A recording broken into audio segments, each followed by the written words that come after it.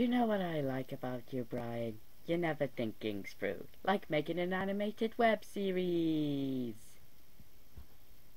Hmm, an animated comedy about a bunch of autistic people. But the market wouldn't allow it.